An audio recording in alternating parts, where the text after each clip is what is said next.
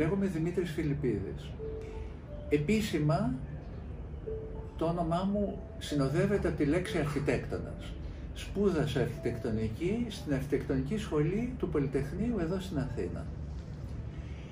Όμως στη συνέχεια έκανα πάρα πολλά άλλα πράγματα τα οποία ήταν περιφερειακά στην κλασική έννοια της αρχιτεκτονικής. Δηλαδή έκανα και επάγγελμα και αρχιτέκτονας και πολεοδόμος, αλλά η βασική μου δουλειά ήταν δάσκαλος. Το 1975 εντάχθηκα στο εκπαιδευτικό προσωπικό της αρχιτεκτονικής σχολής που είχα ήδη αποφοιτήσει νωρίτερα, όπου έμεινα 30 χρόνια. Αυτή ήταν λοιπόν η βασική μου δουλειά. Αυτό μου επέτρεπε να έχω άφθονο, ελεύθερο χρόνο να μελετάω τα πράγματα που αγαπούσα. Που σημαίνει ότι άρχισα να εξετάζω αρχιτεκτονική και να γράφω για αυτήν ε, με έναν τρόπο που μερικοί θα τον θεωρούσαν μανιώδη, αλλά ε, συνεχώς προσθέτοντας και καινούριες περιοχές ενδιαφέροντος ε, σε αυτά που ήδη είχα αρχίσει να μελετώ. Έτσι, ε, περνώντας από τα παραδοσιακά, μπήκα στα αυθαίρετα, μπήκα στα εφήμερα, ε, μπήκα στις χειρονομίες και έτσι ήταν πάρα πολύ φυσικό τελικά να οδηγηθώ σε ένα βιβλίο σαν και αυτό, το «Ανώνυμη Αρχιτεκτονική», μια άρρητη παρουσία, το οποίο αυτό παρουσιάζουμε σήμερα.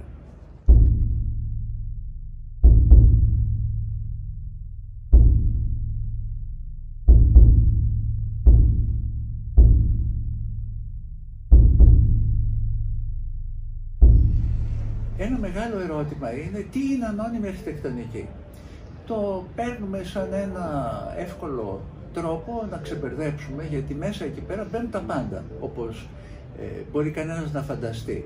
Δηλαδή, ό,τι δεν είναι σχεδιασμένη αρχιτεκτονική, επίσημη αρχιτεκτονική, μνημιακή αρχιτεκτονική, ε, λόγοι αρχιτεκτονική, δείτε πόσες λέξεις έχω για, την, για την, αυτό που θεωρείται επίσημα αρχιτεκτονική.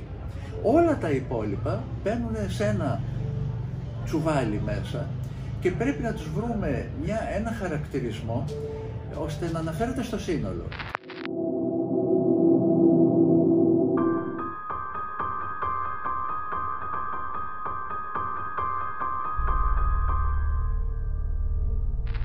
Η λέξη ανώνυμος δεν είναι ιδανική.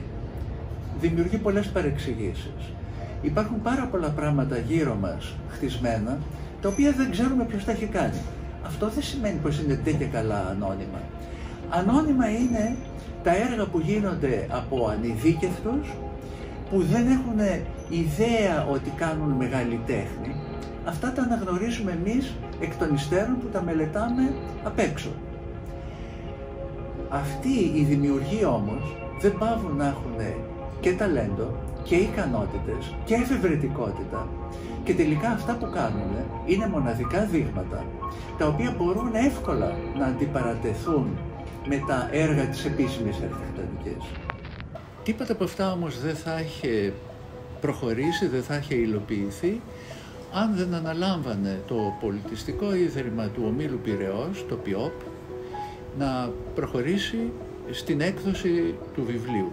Έχοντας μεγάλη πείρα σε εκδόσεις, το ΠΙΟΠ μπόρεσε να αξιοποιήσει με ιδανικό τρόπο το υλικό που είχε συγκεντρωθεί, καταλήγοντας σε μια έκδοση η οποία ανέδειξε και την παραμικρή λεπτομέρεια των στοιχείων που είχαν συγκεντρωθεί.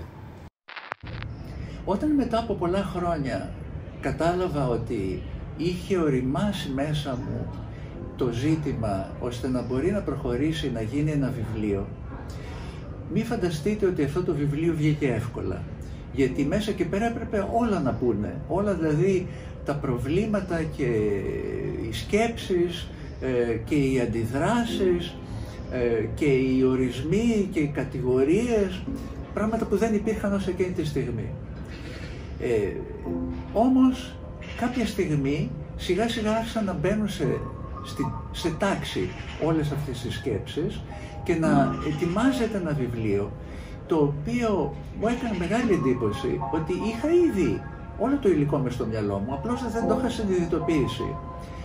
Βόηθησε πάρα πολύ ότι υπήρχε αρχαιακό υλικό μέσα από παλιές φωτογραφίσεις και ε, καταγραφές ε, με μετρήσεις και τα λοιπά, δηλαδή και σχεδιάσεις που είχα κάνει στο παρελθόν, σαν ύποπτο χρόνο, για να το ευχαριστηθώ εγώ, χωρίς σκοπιμότητα, αλλά τώρα όλα έμπαιναν στη θέση τους και αποκτούσαν καινούριο νόημα.